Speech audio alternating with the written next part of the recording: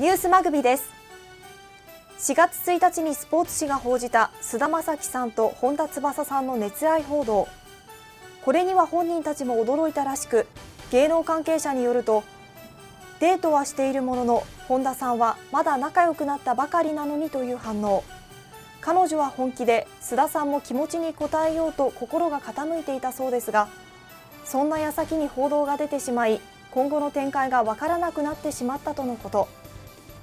今回の熱愛劇果たしてどうなるのでしょうか？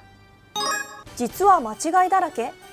歯ブラシの選び方をジャーナリストの岩沢道彦氏が「週刊ポスト」でレポートしました。男性に多い誤解は固め大きめの歯ブラシを選ぶことだそうで認定歯科衛生士の長木優子氏によると固めの歯ブラシは歯の表面や歯茎を傷め歯周病や虫歯のリスクを高めてしまうとのこと。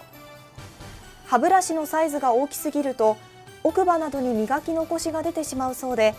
選ぶときは前歯2本分に合わせて幅を選ぶのが基本だそうです。爆報ザ・フライデーなどの告白番組が増えているわけとはあけぼのさんと相原勇さんが破局騒動以来の対面がバラエティ今夜解禁ザ・因縁で実現し注目されました。芸能人が過去を告白する番組が増加する理由について